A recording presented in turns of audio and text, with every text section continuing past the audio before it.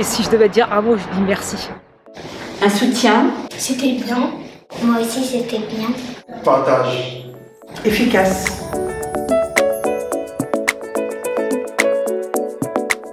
Alors nous sommes un dispositif, euh, nous laïciens, euh, qui euh, s'intéresse, s'occupe de l'aide aux devoirs. Et nous avons pu offrir pendant deux mois, les deux mois de vacances, le travail scolaire, des révisions et des jeux pédagogiques. Le bonheur d'enseigner, c'est de voir quand, les yeux scintillent parce que la leçon a été comprise. J'ai considéré qu'il que était urgent et, important de, participer à cette aventure. Pour ces enfants qui ont été privés euh, d'école euh, depuis le, mois de mars. J'ai trouvé que les enfants étaient volontaires. Euh, j'ai senti qu'ils avaient vraiment envie d'apprendre. Et, j'ai senti que pour eux, c'était important de, de, participer à ces cours. On a été en période de coronavirus, donc déscolarisés les enfants n'ont pas été à l'école et là ça a permis de continuer un peu euh, le soutien scolaire euh, pour nos enfants. Euh, ça leur a donné un peu plus confiance en eux, ça les a libérés et du coup quand ils arrivaient à la maison ça leur permettait de faire d'autres activités. Ah bah, un grand soulagement hein. parce que c'est pas facile de travailler avec ces enfants. On n'est pas professeur, on n'a pas la pédagogie et de travailler avec d'autres bénévoles ça m'a libéré en fait.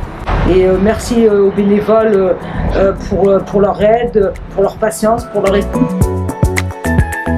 C'était les aider à faire leur devoir de mathématiques, donc je les laissais d'abord en fait faire ces devoirs-là. Et après, dans la correction, voilà, je leur apportais des, des explications dans ce qu'ils ne comprenaient pas. Moi, ça m'a permis d'abord de me replonger dans les anciens devoirs, de, de, un peu mettre à jour mes connaissances en mathématiques. Et ça m'a aussi appris voilà, cette collaboration avec les plus petits, voilà, et aussi ce partage de connaissances, là, de discussions. Euh. J'ai travaillé en mathématiques. Pourquoi je les ai inscrits? C'est pour, euh, pour qu'ils réussissent.